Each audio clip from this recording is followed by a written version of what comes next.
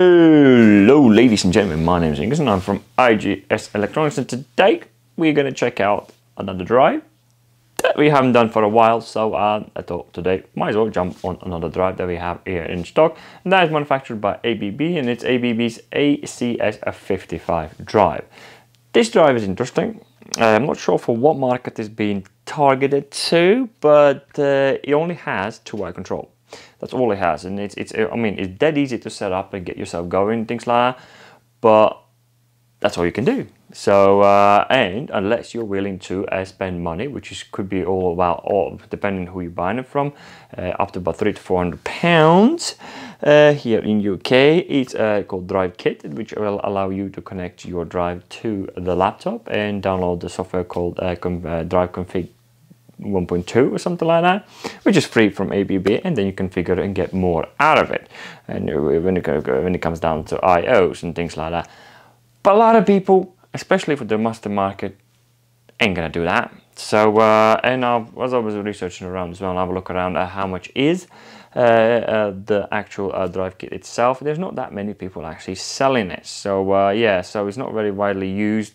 It's very limited to only two-wire control for my research, what I've done, again, I'm not sure what kind of research they've done it and, and uh, what I've so far been doing. The most people that actually like three-wire control and that option is not for this drive. So you are, if you're looking for three-wire control, which is a start and stop, that option is not going to be available for this drive. It's only two-wire control and that's what we're going to be doing today. We're going to be checking out how to set up the drive, get the drive going and wire in our two-wire control and test on it and see how it works. So that's what we've been doing today. So without further ado, oh, and all the related manuals and everything else, believe it, Brentford Pass Away is going to be in the description below. So now, let's get started.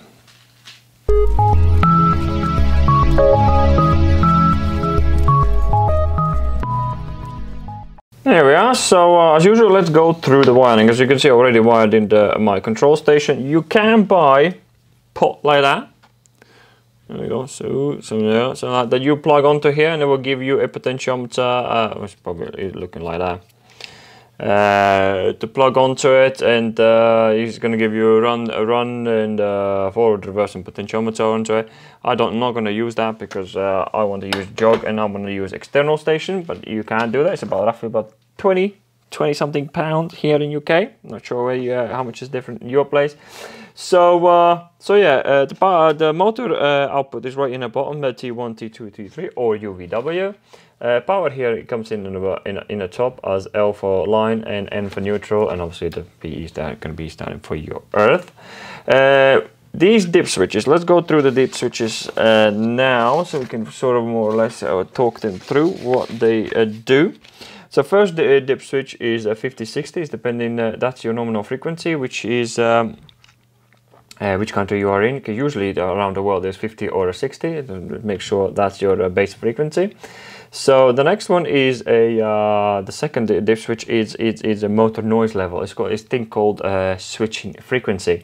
So you can, uh, uh, off is going to be working on 4, uh, switching frequency, which the which is uh, in some ways good for the motor, but uh, it will create a lot more noise. I'm not going to get into switching frequency uh, at the moment, and it stands at switching frequency here stands at four, and on silent it will stand on 16, which means the switches inside that creates the sine wave is going to work a lot, lot, lot, lot faster. So, uh, and it could affect the heat of your drive depending on what sort of load you're using for the testing purposes, we want it quiet, we keep that on silent. So uh, uh, then uh, load a torque type, uh, obviously wanted um, off, this one down here, PF is going to be on a fan and motor, which is uh, PF stands for.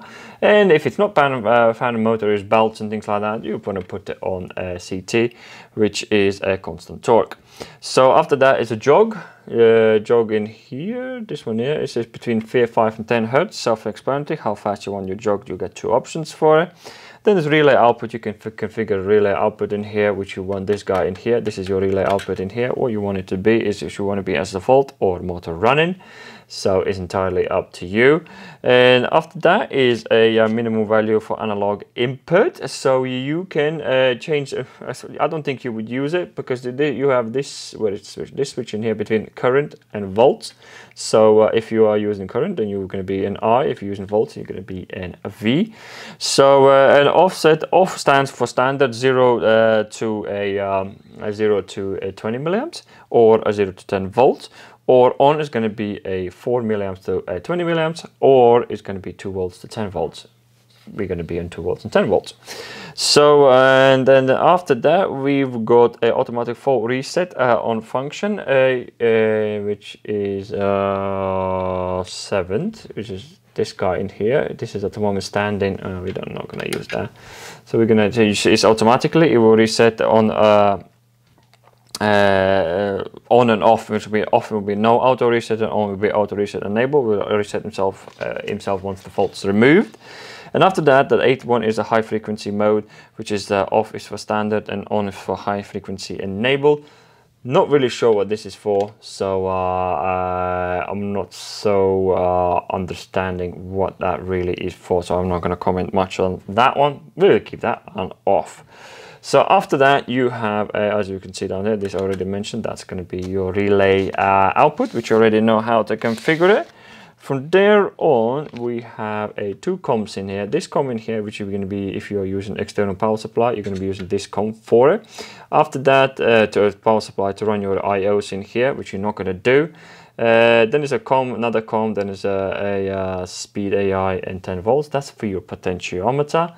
And from there on, 12 volts is going to be internal drive supply, which is going to be turning on and off at the uh, IOs. The digital input one is start, then it's digital two for reverse, and digital input uh, uh, three is going to be for jog, and SCR is for your earthing of your mainly for your potentiometer cable if it's required a shielding. So, and that's that's all there is. And when I say that's all there is, I'm actually lying because we forgot the most, most, important part in here, which is three, the, uh, three of these uh, dials in here. First one is uh, motor I nominal, which is the uh, which is the overloader for your motor. My motor at the moment is 0.18 kilowatt at 1 amp, and the drive is actually designed to be a 0.75 kilowatt and a 4.3 amps. So what I gonna do? What I do? I take um, the motor's uh, current dividing by drive current times by 100 and that gives you sort of the percentage which you are adjusting here. That's what it says percentage in here. But you can see down there that were made uh, uh, minimum uh, the drive is allowing is 50% to uh, drive current. My one works out at 23% so that pretty much says that this drive is a little bit too big for this motor. But for test purposes, it will do just fine. So you just adjust whatever the percentage you worked out. So acceleration, deacceleration, self-explanatory, accelerates and deaccelerates all the way up to 30 seconds. And again, this is this high frequency uh, thingy, which again, I can't seem to work out what it does. So uh, I'll leave it, uh, leave it be. So, uh, and as you can see down here, I have left the switch on off mode because I want to show you a, uh, how the uh, off mode on, on your carrier frequency, how the motor sounds like when it's on a low carrier frequency and how the motor motor sounds on uh, sounds like when it is on a, uh, a high carrier frequency. So the station we're going to be using is going to look more or less like that. We're going to have an e-stop. We're going to have a, I named it like run forward. When I go, if I want to go in reverse, I put them both on. So, and then we're going to have a jog and also it's a potentiometer. Potentiometer can be from 1 to 10 kilo ohms. Within that range will be just fine. So uh, when it comes down to uh, the wiring, uh, number one, which is the 12 volts from down here, coming to my e-stop in here, which is basic e-stop. We will remove the power from the inputs. So from there on, it comes through, and this guy in here doesn't go anywhere. It just sits. That's for different drives. Uh, I'm using that for. There on, it goes on to, as you can see, I have four switches and powers all the switches. And from there on, that uh, start button is going to go to the uh, start then forward reverse and as you can see this one goes to the jog buttons you can see I've got another one in here jog does require a start uh, uh, start button being on to be able to work. So basically what we're going to do, we're going to close this one, the jog button, and start at the same time with the same button, and that will activate the jog. So do be aware, jog does require a run button. So yeah, and that's pretty much that. And then obviously we have a uh, potentiometer right in here, which is a Schneider electric potentiometer. And that's the ones going in here, COM, speed uh, AI and 10 volts. And make sure your dip switch in here stands on V. So let me put on cover on and we'll test how that works. Here we are, so uh, as you can see I have left my acceleration disconnection for roughly about one second for demonstration purposes. We're to stand in here and wait till the ramps up and ramps down. So here we go, so here's our drive going forwards. Potentiometer, if you want to go in the reverse, you flip that and it will go into the reverse and then you turn it off. As you can see it goes back to forwards. And then if you want to uh, click the jog, and it will uh, go uh, in a jog mode. And if you want if you want to go to the jog straight away from there it will do that as well. So uh, so that's that's when it comes down down. So let's see what happens when you put on a, you already heard how that sounds on a 4 kilo um, uh, kilohertz of uh, carrier frequency. Let's put this one on and give you more of a, a feel for it what it sounds like on silent and as you can see, that sound that's here sounds on silence, and that uses a 16 kilohertz, so it means the switches in the drive is working a lot, lot faster now. And for my load, actually, because uh, uh, I'm well on 23%, that would be fine. So, uh, so yeah, but again, my my motor is well uh, undersized uh, for the drive itself. So that's pretty much how this drive works. Very easy to set up, really, very, very easy to get yourself uh, going. Hopefully is, is giving you a good understanding how to get yourself going, how it all works. As I said, very, very easy.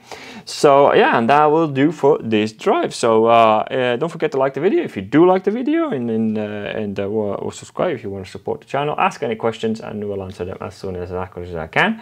So uh, yeah, thank you very much for watching and I'll see you in next video.